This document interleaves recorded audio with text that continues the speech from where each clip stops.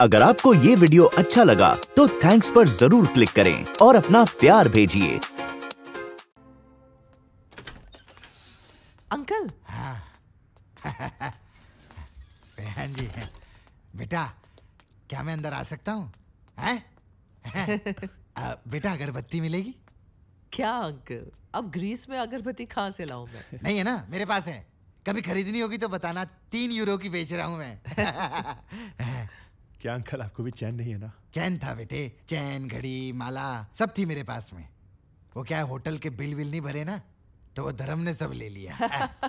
अब एक सोने का दांत बचा है। अगर और बिल नहीं भरे ना तो वो भी तोड़ देगा। अंकल आप भी ना दूसरे भी कमरे हैं। कभी वहाँ पे भी जाया करो। जा तो सकता हूँ बेटा। लेकिन वो लोग हिंदुस्तानी नहीं है ना? तो आप लोगों को देखता हूँ तो बड़ा ही अच्छा लगता है। अ, अपने देश की चिट्ठी हो या मिट्टी हो दोनों को ही देखकर बड़ा सुकून मिलता है। तो थोड़ा वक्त बिताने के लिए आप लोगों के पास आ जाता हूँ। वैसे कमरा काफ़ी अच्छा है अ, अंकल हाँ? आपका यहाँ पर कोई रिश्तेदार नहीं है? रिश्तेदार? हाँ। बेटा, ये रिश्तेदार और रिश्ते तो सिर्फ़ हिंदुस्तान में हुआ करते हैं। माँ बेटे का रिश्ता, मुझे अभी अच्छे से याद है। जब मेरी माँ मुझे चिट्ठी लिखा करती थी ना तो उस पर पानी के धब्बे हुआ करते थे। तो मैं उससे समझ जाता था कि ये चिट्ठी लिखते वक्त मेरी माँ ज़रूर रोई होगी। भाई की आखिरी चिट्ठी भी मुझे याद है।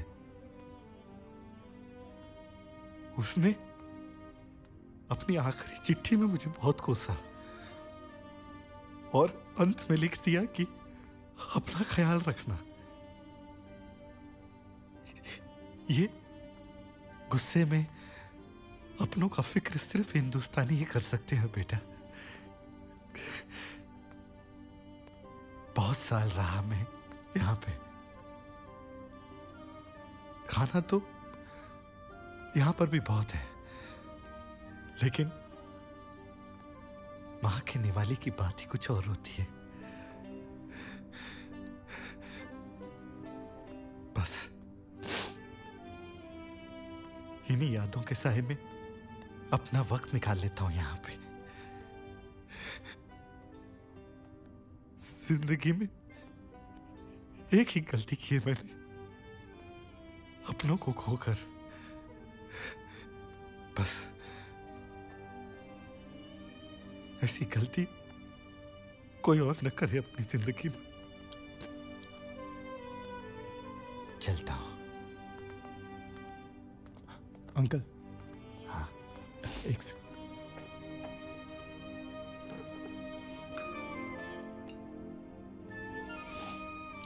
ये Laddu.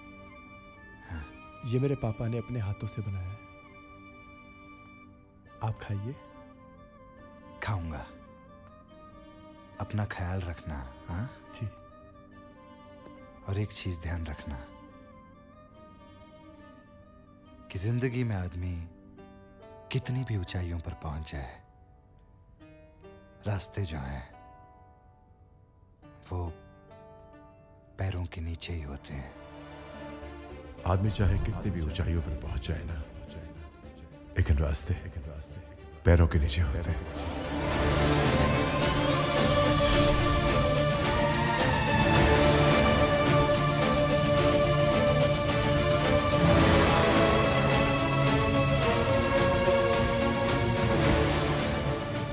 excuse me ma'am Yes? May I help you? Ma'am can you please check my visa Okay. Everyone is saying that I can't work. This is a tourist visa. You can work on tourist visa. What will I do now? Go back to India. Good luck. Ma'am, I can't go back. You can't stay here. You need a business visa.